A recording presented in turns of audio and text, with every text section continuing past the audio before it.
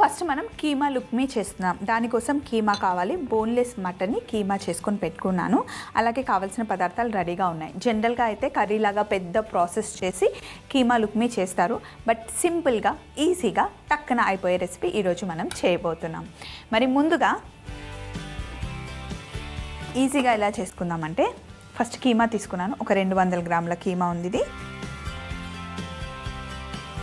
బౌల్లో వేసుకున్నాను. సింపుల్గా చేసేద్దాం. జీలకర్ర పొడి.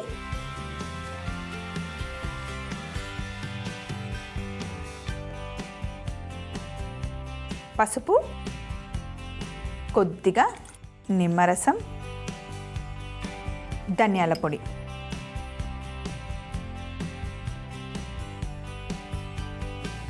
అలాగే గరం మసాలా. పచ్చిమిర్చి కారం. కారం కొంచెమే వేస్తున్నాను ఎందుకంటే పచ్చిమిర్చి వేసాం కదా. ఇంకా ఉల్లిపాయలు.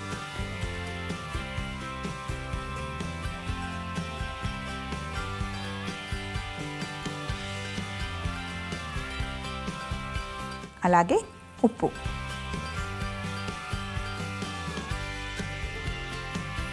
వేసి బాగా మిక్స్ చేసుకోవాలి. ఇందాక స్మార్ట్ వాచ్ గురించి మీకు చెప్పాను కదా ఒక అమ్మాయి ప్రెగ్నెంట్ అయింది స్మార్ట్ వాచ్ వల్ల తెలిసింది అన్నాను కదా. ఎలా అని చాలామందికి డౌట్ వచ్చి ఉంటుంది. ఏం లేదండి ప్రెగ్నెన్సీ వచ్చిన తర్వాత మన హార్ట్ బీట్ తేడా వస్తుంది కదా. అంటే అప్ అండ్ డౌన్ అవుతూ ఉంటుంది. అయితే రెగ్యులర్గా ఉన్న హార్ట్ బీట్కి ఇదేంటి తేడా అని చెక్ చేస్తే తను ప్రెగ్నెంట్ అని తెలిసింది. అలాగే ఒక హార్ట్ పేషెంట్ ఎక్కడో అంటే కొంచెం ఏజ్డ్ పర్సన్ ఒంటరిగా ఉంటాడంట. సో అందుకని వాళ్ళ పిల్లలు ఎక్కడో దూరంగా ఉంటారు కాబట్టి ఏదైనా ప్రాబ్లం వస్తే ఇమీడియట్గా తన వాచ్ నుండి వాళ్ళకి కాల్ వెళ్ళే ఆప్షన్ పెట్టుకున్నారంట స్మార్ట్ వాచ్లో సో అతనికి తెలియకుండానే అన్కాన్షియస్ అయి ఇంట్లో పడిపోయారు. ఎవ్వరు చుట్టుపక్కల లేరు.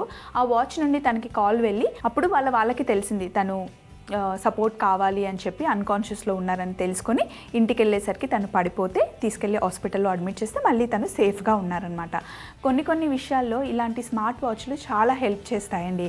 అలాగే మనం రోజంతా స్మార్ట్ వాచ్ పెట్టుకుంటే మనం ఎంత నడిచాము మన హార్ట్ బీట్ ఎంత ఉంది రోజు మనం ఎంత వర్కౌట్ చేసాం ఎన్ని స్టెప్స్ వేస్తున్నాం అవన్నీ బాగా తెలిసిపోతుంది.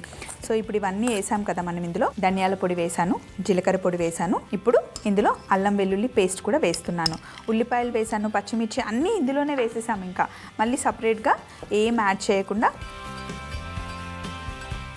ఇప్పుడు ఒక ప్యాన్ పెట్టుకున్నాం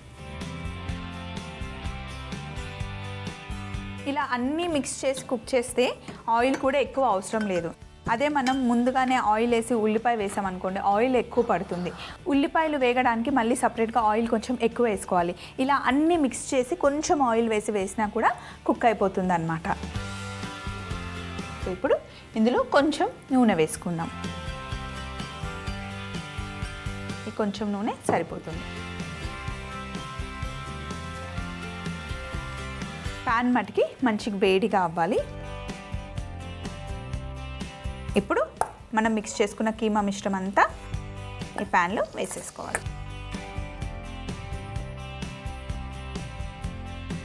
లుక్మి మీరు ఓల్డ్ సిటీకి వెళ్తే కనుక అక్కడ చాలా పాపులర్ అండి. చాలా మందికి తెలియదు కూడా. హైదరాబాద్లో ఉన్న వాళ్ళకి లుక్మిని టేస్ట్ చేసి ఉండరు. బట్ ఈసారి ఎప్పుడైనా ఓల్డ్ సిటీ వెళ్తే కనుక లుక్మి చాలా చాలా టేస్టీగా ఉంటుంది. ఒక్కసారి టేస్ట్ చేయండి. సో ఇప్పుడు అన్నీ వేసుకొని చక్కగా నూనెలో ఇలా మంచిగా ఫస్ట్ కొంచెం ఫ్రై అయిన తర్వాత అప్పుడు మూత పెట్టేస్తే మెల్లిగా కుక్ అవుతూ ఉంటుందన్నమాట. చిన్న మంటలో మెల్లి కుక్ చేసుకోవాలి. కొంచెం నూనెలో కుక్ అయిన తర్వాత మూత పెట్టేసి ఒక పదిహేను ఇరవై నిమిషాలు ఇలాగే ఉంచితే చక్కగా కీమా కర్రీ రెడీ అవుతుంది. ఫస్ట్ ఇది రెడీ అయిన తర్వాత నెక్స్ట్ ప్రాసెస్ ఏంటో నేను చూపిస్తాను.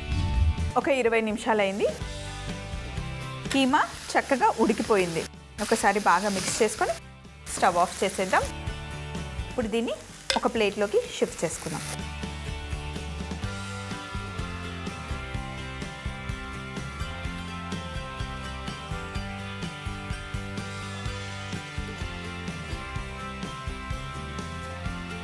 ఇక్కడ కీమా రెడీగా ఉంది. అలాగే మైదా పిండిలో కొంచెం ఉప్పు వేసి నీళ్ళు వేసి రెగ్యులర్గా మనం పిండి ఎలా తడుపుకుంటామో. చపాతి పిండిలాగా తడిపి రెడీగా పెట్టుకున్నాను. ఇక్కడ కీమా రెడీగా ఉంది. అది చల్లగా అయ్యే లోపల మనం ఇక్కడ లుక్మీకి కావాల్సిన షీట్ చేసేసుకున్నాం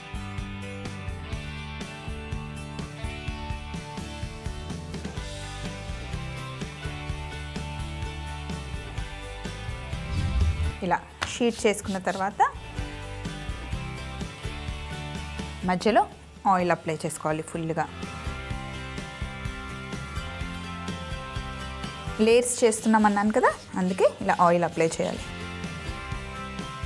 ఇలా ఆయిల్ అప్లై చేసుకున్న తర్వాత ఇప్పుడు దీన్ని ఇలా ఫోల్డ్ చేసుకోవాలి. కొంచెం లూజ్గా మరీ టైట్గా కాదు.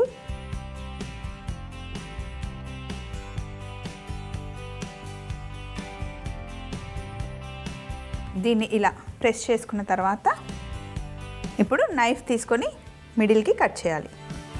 కట్ చేసి ఒక దాని మీద ఒకటి ఇలా పెట్టేసుకోవాలి. ప్రెస్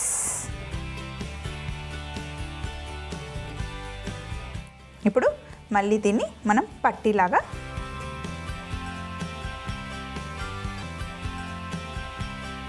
ఇలా ఎడ్జెస్ కట్ చేసుకోవాలి.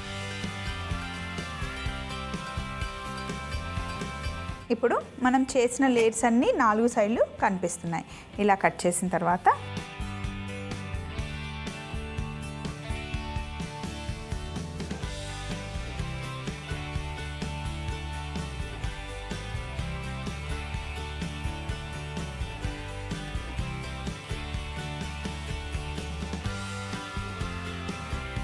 సో ఇప్పుడు బౌల్లో కొంచెం నీళ్ళు ఉన్నాయి ఇలా మధ్యలో ఫుల్గా వాటర్ అప్లై చేసుకోవాలి. ఇప్పుడు ఫోర్క్ తీసుకొని వీటికి ఇలా హోల్స్ పెట్టుకోవాలి. ఇలా ఇలా చేయడం వల్ల లేయర్స్ విడిపోకుండా బాగా పొంగకుండా ఉంటాయన్నమాట. ఇప్పుడు మనం తయారు చేసుకున్న కీమా మిశ్రమంని ఒక సైడ్ పెట్టుకోవాలి.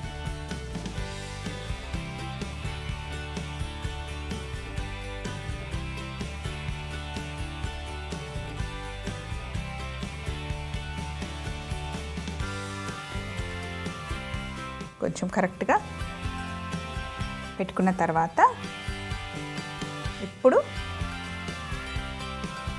స్టఫింగ్ బయటికి రాకుండా సైడ్స్ జాగ్రత్తగా ఇలా ప్రెస్ చేసేసుకోవాలి.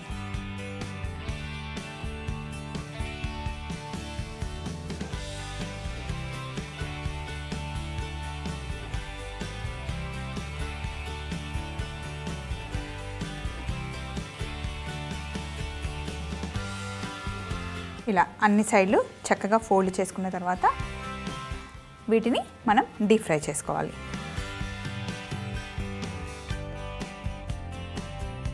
సమోసా ఫ్రై చేసేటప్పుడు ఎంత చిన్న మంటలో చల్లగా ఉన్న నూనెలోనే వేసుకుంటాం కదా మరీ ఎక్కువ వేడి లేకుండా వీటిని కూడా అలాగే మెల్లిగా కుక్ చేసుకోవాలి.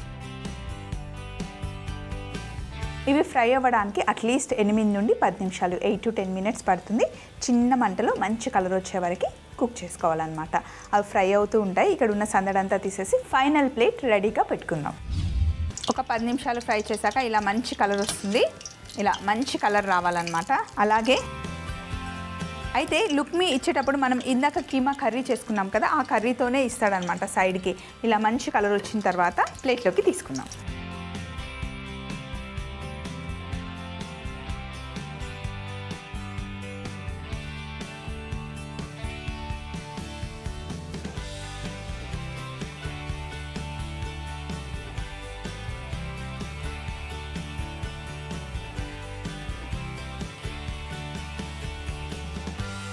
లోపల కీమా స్టఫింగ్తో పైన మంచి క్రిస్పీ లేయర్తో అసలు సూపర్గా ఉంటుంది లుక్మి